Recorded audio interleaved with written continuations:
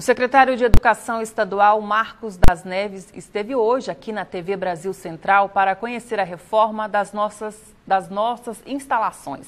Ele visitou os estúdios e a redação e elogiou o avanço tecnológico da emissora. Durante a visita, o secretário falou à nossa equipe de reportagem e anunciou uma parceria que pode trazer para a programação da TV Brasil Central um curso preparatório para o Enem. Acompanhe.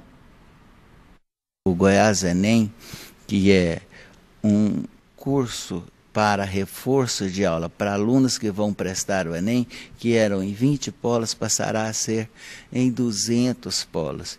E eu estou aqui hoje para que o Goiás Enem saia dos polos nas 62 cidades e venha para a TV Brasil Central com o Goiás Enem na TV. Vamos ver se isso é possível. Tenho certeza absoluta que com o empenho de todos será possível. Em breve, o aluno goiano, seja da rede estadual, seja de qualquer outra rede particular ou municipal, terá via TV Brasil Central aulas de reforço do Goiás Enem.